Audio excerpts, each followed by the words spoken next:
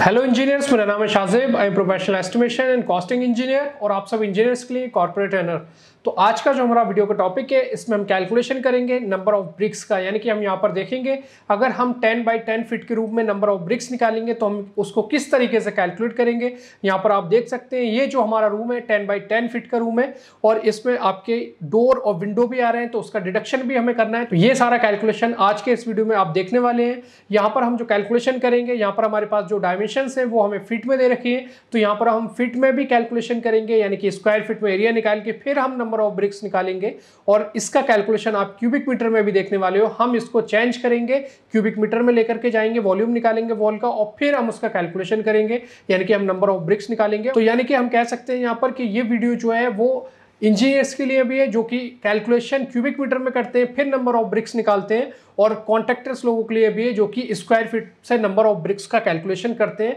तो दोनों तरीके से हम कैलकुलेशन यहाँ पर इस वीडियो में करने वाले हैं। चलिए हम अपनी वीडियो को स्टार्ट करते हैं। तो सबसे पहले आप यहाँ पर देख रहे हैं, यहाँ पर हमें ये रूम दे रखा है और इसकी जो डायमेंशन हमें बता रखी है, वो टेन बाई टेन फिट यानी कि इसकी जो चारों वॉल है, उनकी जो लेंथ है, वो आपकी टेन बाई टेन फिट है। यहाँ पर आप देख सकते हैं टेन फिट इसकी ये लेंथ है।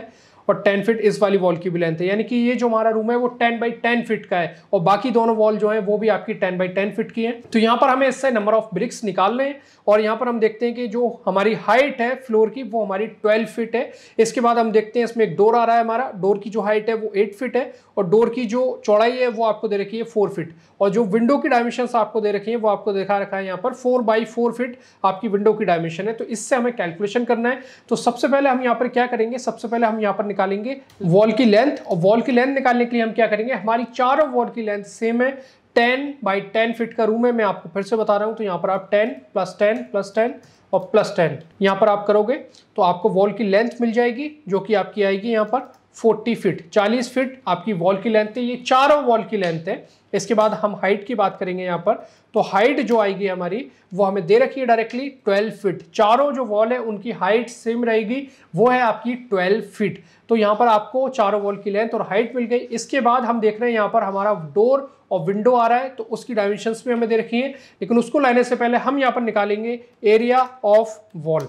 Area of wall हम यहाँ पर कैलकुलेट करेंगे और एरिया ऑफ़ वॉल हम जब निकाल रहे हैं तो बिफोर डिडक्शन निकाल रहे हैं, यानी कि अभी हमने इसमें से डोर या विंडो का डिडक्शन नहीं किया है। पहले हम वॉल का एरिया निकालते हैं चारों वॉल का तो यहाँ पर हम क्या करेंगे? एल इंटू एच यानी कि length of wall and height of wall तो लेंथ जो है, आपकी वो दे रखी है आपको 40 फीट और मल्टीप्लाई बाई हाइट हाइट आपको दे रखी है 12 फीट तो यहाँ पर आपको मिल जाता है एरिया जो कि आपका आएगा स्क्वायर फीट में, क्योंकि यहाँ पर जो हम डायमेंशंस ले रहे हैं, वो हमें फीट में दे रखी है।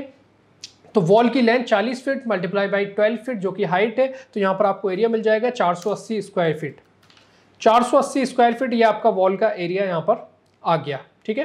ये आपको वॉल का एरिया मिल जाता है यहाँ पर 480 स्क्वायर फीट इसके बाद हम निकालेंगे यहाँ पर डोर का एरिया ठीक है? डोर का एरिया क्या आएगा? तो यहाँ पर डोर का एरिया जब हम निकालते हैं तो यहाँ पर हम क्या करेंगे? डोर की हाइट मल्टीप्लाई बाई डोर की जो चौड़ाई है, आपको दे रखी है चार फीट दोनों को मल्टीप्लाई करेंगे तो यहाँ पर हमें मिलेगा बत्तीस स्क्वायर फीट ये हमारे डोर का एरिया है। इसके बाद हम निकालेंगे यहाँ पर विंडो का एरिया ठीक है? विंडो का एरिया निकालने के लिए हम विंडो की दोनों डायमेंशन यानी कि फोर बाई फोर की हमारी विंडो है फोर बाई फोर हम यहाँ पर करेंगे तो यहाँ पर हमें मिलेगा सिक्सटीन स्क्वायर फीट ये हमारा विंडो का एरिया है।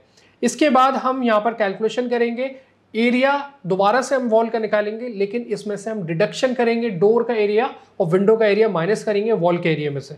तो फिर से हम कैलकुलेशन करते हैं। अब यहाँ पर हम निकाल रहे हैं एरिया वॉल आफ्टर डिडक्शन यानी कि डिडक्शन करने के बाद वॉल का एरिया क्या आएगा? तो यहाँ पर हम क्या करेंगे? हम जो हमारा वॉल का एरिया हमने पहले निकाला है 480 स्क्वायर फीट इसमें से हम माइनस कर देंगे, जो हमारा डोर का एरिया है 32 और माइनस हम यहाँ पर करेंगे 16 जो कि हमारा विंडो का एरिया है. तो यहाँ पर हमें मिल जाएगा area of wall after deduction deduction करने के बाद आपका वॉल का एरिया कितना आ रहा है, वो हम यहाँ पर कैलकुलेट कर लेते हैं. और ये हमारा आएगा 432 स्क्वायर फीट 432 स्क्वायर फीट ये हमारा वॉल का एरिया आ जाता है डिडक्शन करने के बाद।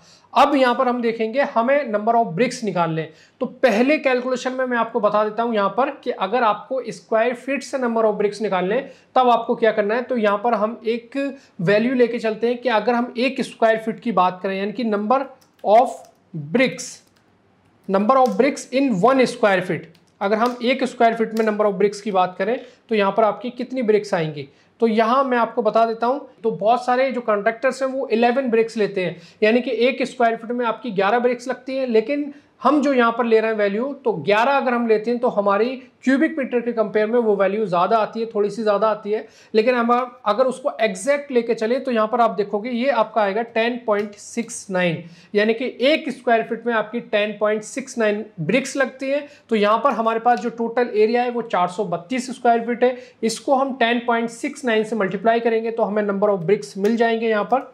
ठीक है? नंबर ऑफ़ ब्रिक्स हम निकाल रहे हैं तो यहाँ पर हमारा जो वॉल का एरिया है 432 स्क्वायर फीट इसको हम मल्टीप्लाई करते हैं 10.69 से तो यहाँ पर हमें नंबर ऑफ़ ब्रिक्स मिल जाएँगे। और यहाँ पर जो हमारी ब्रिक्स आएँगी, वो हमारी आएँगी 4618 इतनी आपकी ब्रिक्स लगेंगी। यहाँ पर छियालीस आपकी ब्रिक्स लग रही हैं 432 स्क्वायर फीट के एरिया में, जिसमें हम वैल्यू लेकर के चल रहे हैं 10.69 एक स्क्वायर फीट में इतनी ब्रिक्स लगेंगी। तो 432 में आपकी छियालीस सौ अठारह, चार हज़ार छह सौ अठारह ब्रिक्स लग रही है आपकी इस 10 बाई 10 फीट के रूप में। और यहाँ पर जो वॉल्स हैं ये सारी, वो आपकी 9 इंच की वॉल्स हैं। ये आपको याद रखना है। ये सारे हमने जो कैलकुलेशन कर रहे हैं, वो हम 9 इंच के लिए कर रहे हैं। और ये जो 10.69 हम लेकर के चल रहे हैं, वो भी हम 9 इंच के लिए ले रहे हैं। Number of bricks in one square feet और यहाँ पर हम इसको लिख देते हैं नाइन इंच की हम यहाँ पर बात कर रहे हैं। हम यहाँ पर फोर इंच की बात नहीं कर रहे हैं अभी। नाइन इंच की वॉल की हम यहाँ पर बात कर रहे हैं।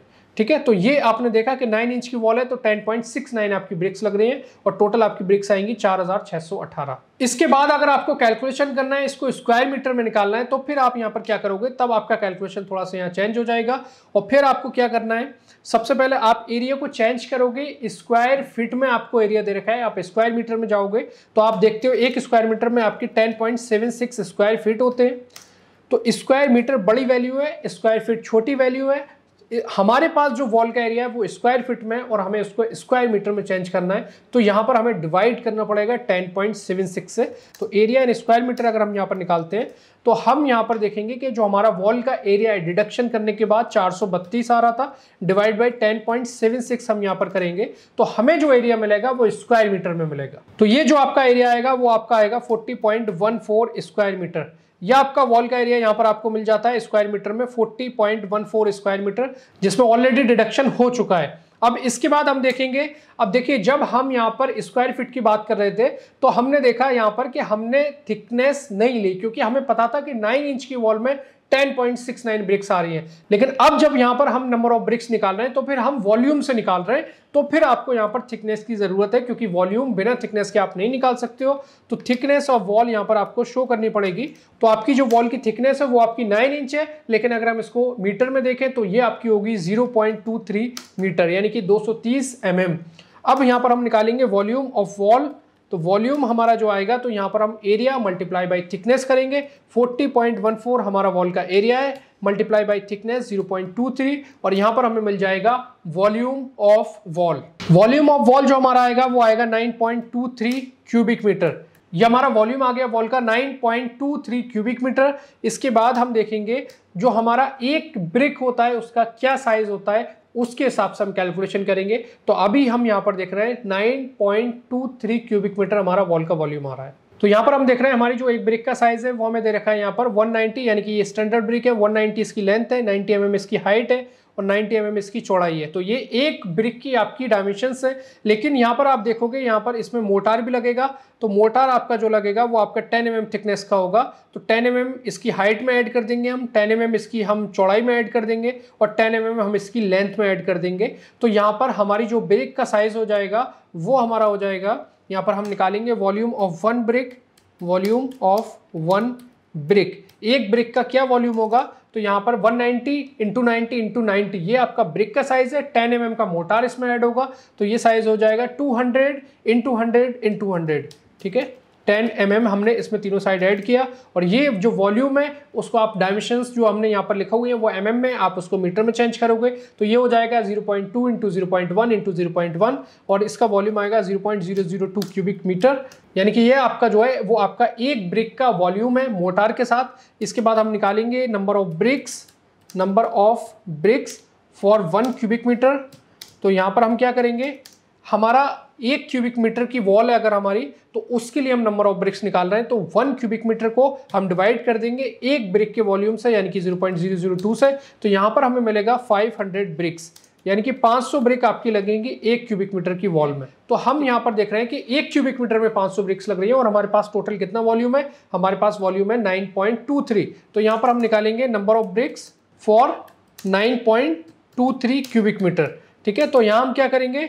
नंबर्स निकालने के लिए 9.23 को मल्टीप्लाई कर देंगे 500 से, क्योंकि एक क्यूबिक मीटर में 500 ब्रिक लग रही है और 10 बाई 10 फीट का जो हमने वॉल्यूम निकाला है, चारों वॉल का, वो 9.23 आ रहा है। तो एक क्यूबिक मीटर में 500 मल्टीप्लाई बाई 9.23 और यहाँ पर आपको नंबर ऑफ़ ब्रिक्स मिल जाएँगे। और यहाँ पर आपके नंबर ऑफ़ ब्रिक्स जो आएँगे, वो आपके आएँगे फोर ये आपके नंबर ऑफ़ ब्रिक्स यहाँ पर आ जाते हैं और जिसमें आप देखोगे कि आपका सिर्फ़ दो से तीन ब्रिक का फ़र्क आता है, सिर्फ़ दो से तीन ब्रिक का डिफरेंस है। अगर आप उसको स्क्वायर फीट में निकालते हो या फिर क्यूबिक मीटर में निकालते हो तो आपको इस तरीके से, दोनों तरीके से आप कैलकुलेशन कर सकते हो, चाहे स्क्वायर मीटर में हो या फिर आपका क्यूबिक मीटर में हो। दोनों तरीके से आपको कैलकुलेशन यहाँ पर मिल जाता है। तो यहाँ पर हमने दोनों तरीके से देखा कि अगर हम क्यूबिक मीटर में नंबर ऑफ़ ब्रिक्स निकालते हैं तो कैसे निकलेंगे और अगर हम स्क्वायर फीट में कैलकुलेशन करते हैं तब हमारे नंबर ऑफ़ ब्रिक्स कैसे निकलेंगे। तो आई होप यहाँ पर बहुत अच्छे से आपको चीज़ें समझ में आ गई होंगी। अगर ये वीडियो आपको पसंद आई है तो प्लीज़ इस वीडियो को लाइक कीजिए। और अगर ये सारी चीज़ों को आप डिटेल में सीखना चाहते हैं, आप पूरा प्रोजेक्ट का एस्टिमेशन चाहते हैं कॉस्टिंग सीखना चाहते हैं तो हमारे बहुत सारे कोर्सेज हैं जो कि बिल्डिंग्स को लेकर हैं हाईवे के लिए